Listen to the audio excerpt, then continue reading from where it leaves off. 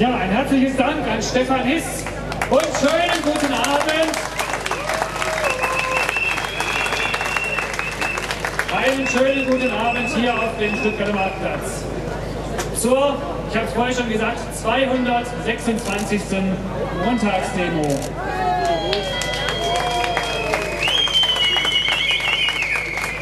Mein Name ist Matthias von Hermann von den Parkschützern und ich will heute mal mit einem Fundstück aus dem Internet beginnen. Das ist nicht ganz neu, aber es hat mich doch sehr ermuntert. Da steht nämlich, das umstrittene Großbauprojekt Stuttgart 21 verzögert sich immer weiter und wird immer, immer teurer. Das kennen wir ja. Kein Wunder also, dass erstmals der Punkt erreicht ist, an dem eine Anhebung der gesamten Stuttgarter Innenstadt weniger kosten würde als die Fertigstellung des geplanten Tiefbahnhofs. Geht aus einem neuen Gutachten hervor, das heute veröffentlicht wurde. Bei der im Gutachten vorgeschlagenen Alternative Stuttgart 32 würde das alte Stuttgarter Bahnhofsgebäude in seiner derzeitigen Form weitgehend erhalten bleiben. Um dennoch einen unterirdischen Bahnhof zu erhalten, würde, das, würde jedes einzelne Gebäude, jeder Platz und jede Straße in Stuttgart Mitte, Nord, Süd, Ost und West um etwa 32 Meter, Meter angehoben und die darunter entstehende Lücke mit Erde, Bauschutt und Juchtenkäfern aufgefüllt werden. Gutachter Frank Zöller, der die Studie im Auftrag des baden-württembergischen Verkehrsministeriums durchführte, erklärt, das klingt vielleicht kompliziert, wäre aber einfacher und schneller und rund 100 Millionen Euro günstiger, als diesen Albtraum von einem Bahnhof unter die Erde zu bringen. Die Einsparungen kämen laut Gutachten von unter anderem dadurch zustande, dass die benötigten Eisenbahntunnel bei der Aufschüttung Stuttgarts gleich mit eingebaut werden könnten. Auch ein oder zwei neue U-Bahn-Linien könnten quasi nebenbei kostengünstig realisiert werden.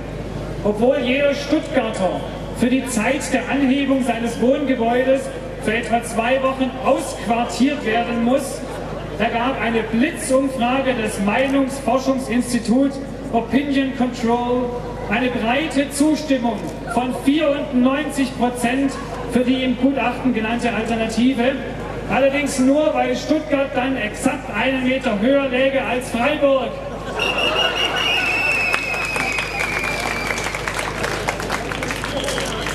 So, kommen wir zurück zur Realität und zu den vielen Tunneltaufen, die es in der nächsten Zeit gibt. Tunneltaufen brauchen uns aber nicht zu, nicht zu ängstigen und nicht zu, sind keine wirklichen Probleme, denn wir sehen es mit den vergangenen Tunneltaufen. Dort wurde zwar ein Tunnel getauft, aber weiter passiert nichts. Beispiel ist Stuttgart-Wangen. Tunneltaufe am 4.12.2013, bis heute kein Meter gegraben. So sieht's aus bei Stuttgart 21.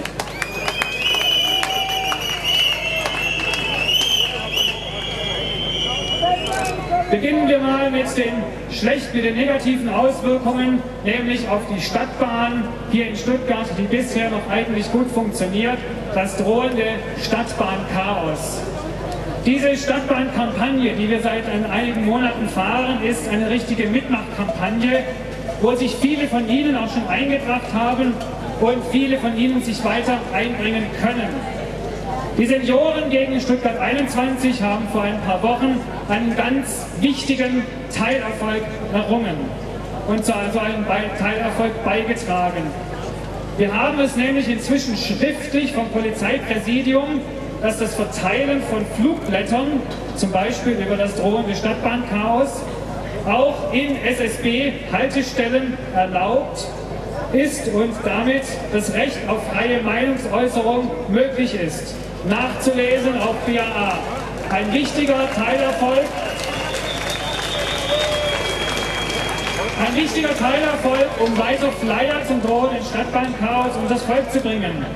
Und seit ein paar Wochen gibt es einen neuen Flyer. Sie kennen ihn sicher schon, er hat ein Fahrrad drauf. Und dieses Fahrrad ist deswegen drauf, weil doch tatsächlich zwei SSB-Aufsichtsräte das beim drohenden Stadtbahnchaos empfohlen haben, sich dann halt aufs Rad zu setzen, wenn die Bahn nicht mehr fährt. So weit ist die Kapitulation von SSB-Aufsichtsräten vor Stuttgart 21 schon gediehen. Und das kann und darf nicht sein. Deshalb müssen wir weitermachen. Deshalb müssen wir dranbleiben an diesem Thema.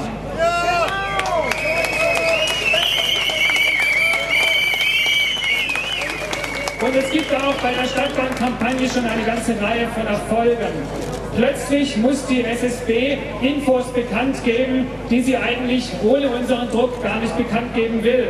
Und diese Infos sind dermaßen vage und wachsweich, dass klar ist, auch die SSB weiß eigentlich überhaupt nicht, was sie da sagen soll. Sie sagt halt irgendwas und auch Zeitungsredakteure schreiben dann nieder, dass das, was die SSB da sagt, komisch und windelweich und nicht zu verstehen ist.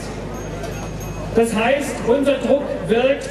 Die SSB muss plötzlich im Bezirksbeirat Süd antanzen und das drohende Chaos erklären, muss erklären, dass Stuttgart Süd und Hessdach eventuell abgehängt wird durch Stuttgart 21.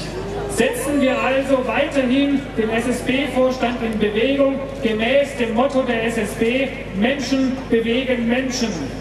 Mehr zur Stadtbahnkampagne hören Sie sicher in den nächsten Wochen wieder hier von der Bühne auf der Montagsdemo. Und diesen Fahrradflyer, von dem ich gerade gesprochen habe, den gibt es zuhauf am Parkschützerstand. Decken Sie sich ein, verteilen Sie ihn in den, Bus, in den SSB-Haltestellen, auch in den U-Haltestellen an Ihre Mitbürger, um diese zu informieren vor dem drohenden Stadtbahnchaos.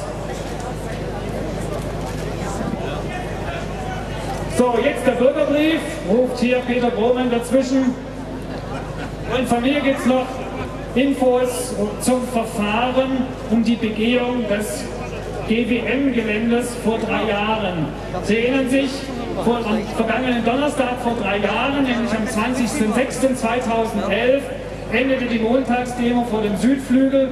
Plötzlich war der Zaun nicht mehr da zum GWM-Gelände und hunderte, wenn nicht gar tausend Menschen standen auf dem GWM-Gelände. Danach zog die Staatsanwaltschaft und das Polizeipräsidium mit einer ungeheuren Ermittlungsaktion gegen unsere Bewegung vor. Und nachdem, da gab es ein erstes Verfahren und nachdem die Staatsanwaltschaft sogar ihre Revision jetzt zurückgezogen hat nach diesem Abschluss des Verfahrens, hat auch der Bundesgerichtshof und der Bundesgerichtshof die Revision der Angeklagten abgewiesen hat, ist das erste Verfahren um diesen 20.06.2011 abgeschlossen. Ich erzähle Ihnen das Ganze gleich. Das werden wir, warum ich es Ihnen erzähle, werden Sie gleich erfahren und verstehen. Durch diese, diesen Abschluss des ersten, ersten Verfahrens ist nun auch in Stuttgart klar, wer mit anderen zusammen auf ein Baugelände geht und dort eine Weile rumsteht begeht vielleicht Hausfriedensbruch, aber er begeht keinen Landfriedensbruch und schon gar keinen schweren Landfriedensbruch. Das ist der Erfolg dieses Verfahrens.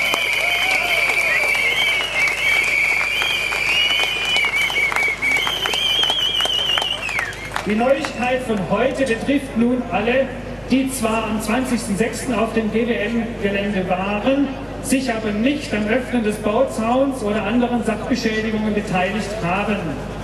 Es zeichnet sich nämlich die Möglichkeit ab, die Verfahren, die laufen, unter gewissen akzeptablen Bedingungen abzuschließen.